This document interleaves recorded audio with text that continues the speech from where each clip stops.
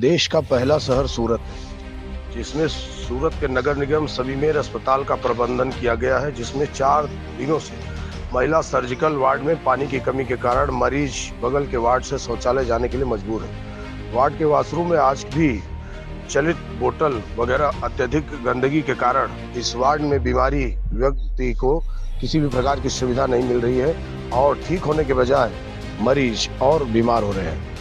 आगे की जानकारी के लिए बने रहे हमारे साथ। देखते रहे स्टार न्यूज़ नेटवर्क। जय हिंद, जय भारत।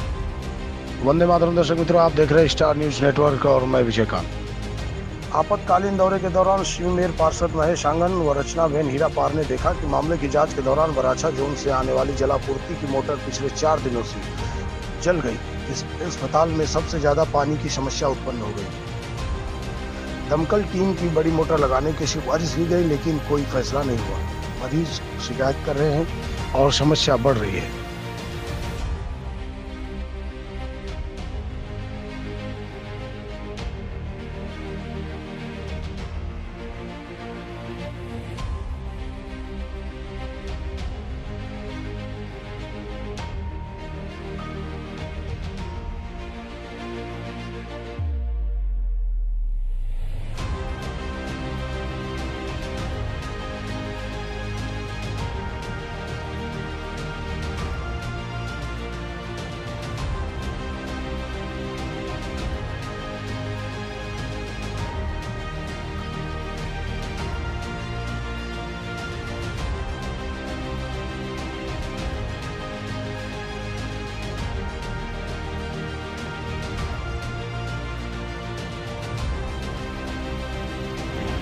હું રચના હિરપરા કોર્પોરેટર આમ આદમી પાર્ટી હોસ્પિટલ સમિતિ સભ્ય.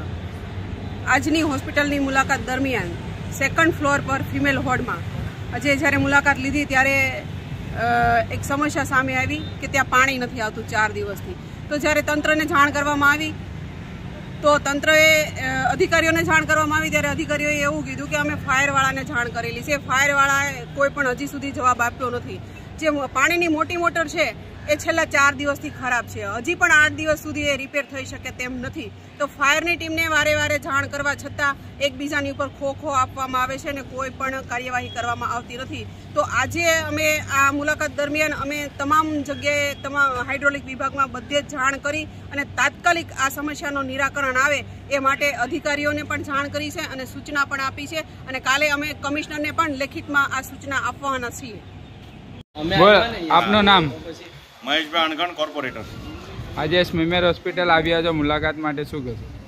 અમે આજે આકસ્મિક મુલાકાતે અને અમુક લોકોને માફીપત્ર માટે આપવા માટે આવેલા હતા ત્યારે એક વોર્ડની અંદર ગયા સેકન્ડ ફ્લોર પર ફિમેલ સર્જિકલ વોર્ડ છે. ત્યાં ધ્યાને આવ્યું કે અંદર જતાં જ તે દુર્ગંધ એટલી મારતી હતી અને અમુક અમુક દર્દીઓના સગા જ અમારી પાસે આવ્યા કે અહીંયા ચાર દિવસથી પાણી નથી આવતું એના કારણે દર્દીઓને ચાલુ બોટલે બહારના વોર્ડની અંદર વોશરૂમ કરવા માટે જવું પડે છે એટલે એ બાબતે અ, તરત અ, તંત્રને ધ્યાન દોર્યું અને અ, તાત્કાલિક ધોરણે આ માટે જે પણ જરૂરી હોય એ કરવા માટે અત્યારે સૂચન કર્યું છે आगे की जानकारी के लिए बने रहे हमारे साथ देखते रहे स्टार न्यूज नेटवर्क